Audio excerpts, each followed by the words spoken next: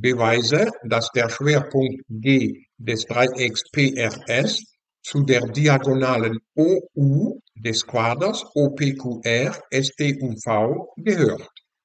Um das zu beweisen, werden wir zuerst die Koordinate von diesem Schwerpunkt bestimmen, dann bestimmen wir zwei kartesische Gleichungen der Geraden OU und um zu beweisen, dass der Punkt G auf dieser Geraden OU liegt, reicht es zu überprüfen, ob die Koordinate von G die zwei gefundenen kartesischen Gleichungen von OU erfüllt. Also starten wir. Der Punkt P hat als Koordinate 2, 0, 0. Der Punkt R hat als Koordinate 0, 5, 0. Und der Punkt S hat als Koordinate 0, 0, 3. Der Schwerpunkt G von diesem Dreieck PRS hat als Koordinate ein Drittel von der Summe dieser drei Koordinaten. Also hat der Schwerpunkt G als Koordinate 2 Drittel, 5 Drittel, 1. Jetzt suchen wir zwei kartesische Gleichungen dieser Geraden OU. Dazu brauchen wir einen Punkt der Geraden. Nehmen wir der Einfachheit halber den Punkt O mit Koordinate 0, 0, 0 und wir brauchen einen Richtungsvektor dieser Geraden. Nehmen wir als Richtungsvektor den Vektor OU, der als Koordinate 2, 5, 3 hat. Somit können wir sehr schnell kartesische Gleichungen von OU erstellen.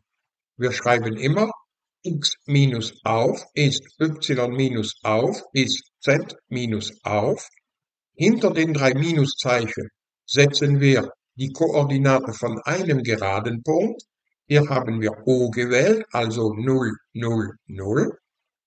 Und als Nenner setzen wir Abszisse, Ordinate und Lot von einem Richtungsvektor. Als Richtungsvektor haben wir OU gewählt, dessen Abszisse 2 ist, dessen Ordinate 5 ist und dessen Lot 3 ist. Also 2, 5, 3. Die Gleichheit vom ersten und vom zweiten Bruch führt zu dieser kartesischen Gleichung der Geraden OU und die Gleichheit vom zweiten und vom dritten Bruch führt zu dieser kartesischen Gleichung der Geraden OU. Der Punkt G gehört zur Geraden OU dann und genau dann, wenn seine Koordinate diese zwei kartesischen Gleichungen von OU erfüllt. Also so, G ist Element der Geraden OU, dann und genau dann, wenn 5 mal 2 Drittel minus 2 mal 5 Drittel 0 ergibt, so, und wenn 3 mal 5 Drittel minus 5 mal 1 ebenfalls 0 ergibt, also so. 5 mal 2 Drittel minus 2 mal 5 Drittel, natürlich ergibt das 0. Und 3 mal 5 Drittel minus 5 mal 1, aber selbstverständlich ergibt das 0.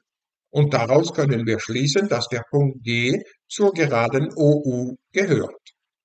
Man hätte diese These auch anders beweisen können. Um zu zeigen, dass G ein Element von OU ist, reicht es zu beweisen, dass der Vektor OU ein Vielfaches vom Vektor OG ist. Das werden wir jetzt machen. Der Vektor OG hat als Koordinate die von G, die haben wir da bestimmt, und der Vektor OU hat als Koordinate die von U, das heißt 2, 5, 3. Also so.